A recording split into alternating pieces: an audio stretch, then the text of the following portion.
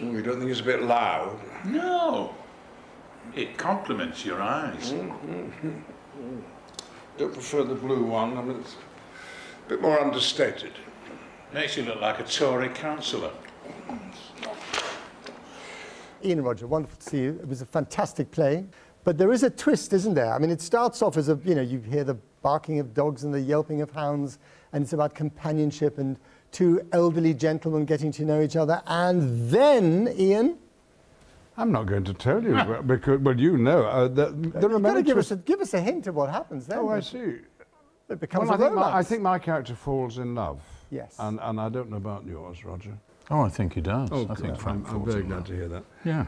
It's But your character is is Oh, gay, um, and we discover that you know I don't know half an hour in, and then your character is bereaved. Yes, they, they do get together, but I mean, that's also about loneliness, I guess. Yes. You know.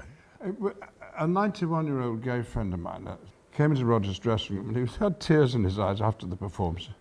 Are you all right? He said, Yes, but this play gives me such hope. Isn't that lovely? Well, what about this one? Oh, yes, that's very dashing. Well, I haven't heard that word for a long time. I'm bringing it back. Can you imagine having put on this play, acted in this play, 20 years ago, No. 30 years ago, 10 years ago. 10 years ago?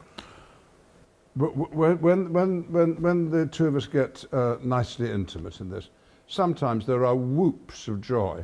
Yes. Not from a gay, exclusively gay audience by any manner means, but just uh, theatre goers who are happy to see uh, affection openly expressed. And uh, it just seems to me that the, the nation, at least as far as theatre goes are, are concerned, have turned a corner and, and are racing ahead to the future in, in a way that we couldn't have imagined.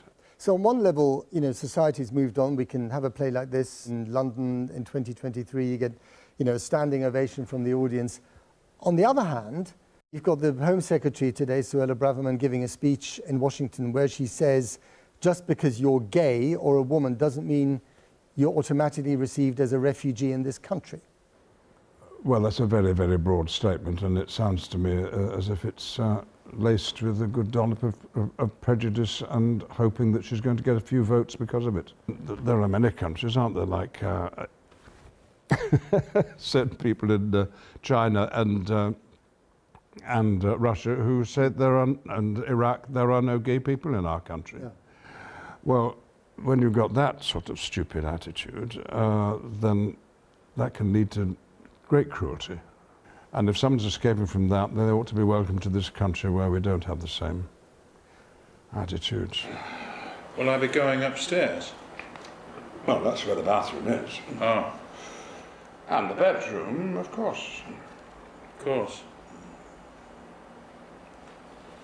Do you know?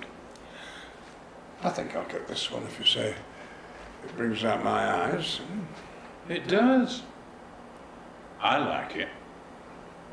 Although there is a, a, a bit of an intake of breath when you realize the relationship is about to happen because you didn't expect it at the beginning. Yes, yeah. It is normal, it is very normalized, and it is very affectionate, and it's very loving. And funny. Uh, th- and that- funny. That's what oh, yes. attracted We me don't to make, want to make it sound too earnest. It is also very funny. No, I mean, the, the, uh, when I first read it, when Sean Mathias, our director, sent it to me, I found myself laughing out loud, which is unusual when Hmm. you're reading something. And then, of course, I started speaking it out loud and making myself laugh even more. D- When you had the Hmm. Yeah, same yeah, experience, yeah, didn't you? yeah. It's a great job, isn't it? This? How long have is, you known yeah. each other? Well, we met about 40 years ago, but we, we became, I think, really good friends. Um, later on, when we did a panto, which is nearly 20 years ago, and shared a That's dressing got to room. make a friendship, hasn't it? A, a good panto. Yes, and sharing a dressing room. Ah, Yes. I right. was playing okay. the villain and I was playing the dame. Yes. He had more of the dressing room than me. It still rankles, doesn't it? Doesn't rankle. Doesn't really. It's just worth Did saying. you measure it out? Did you measure it out?